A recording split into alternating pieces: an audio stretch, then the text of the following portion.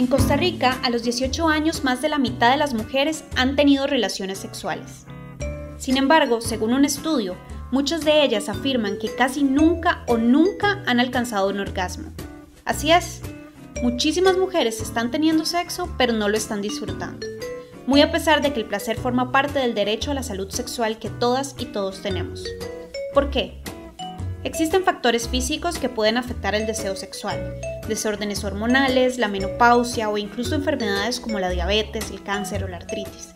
Para esto ya existen algunos tratamientos, de hecho desde hace tres años existe en el mercado internacional la primera pastilla para tratar a las mujeres premenopáusicas con un desorden de deseo sexual hipoactivo.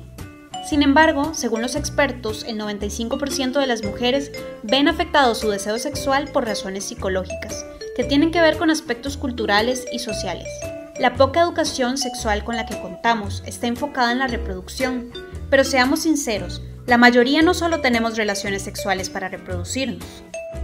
No nos hablan de masturbación femenina, no nos hablan de conocer nuestro cuerpo. Nos da vergüenza, a algunas mujeres les da asco, a algunas mujeres les da miedo, les genera mucha culpabilidad conocer su cuerpo, tocarlo, verlo, ver que nuestras parejas tampoco cuentan con esas herramientas.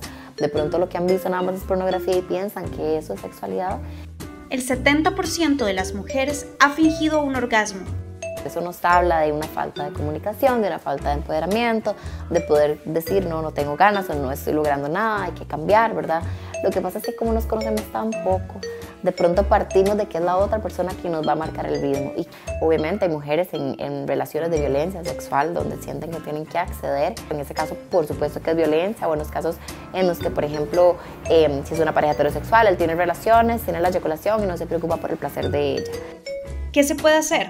Lo más importante es educarnos, conocernos, respetarnos, aceptarnos como somos y autoexplorarnos. No vivamos una sexualidad para el otro, sino para nosotras mismas.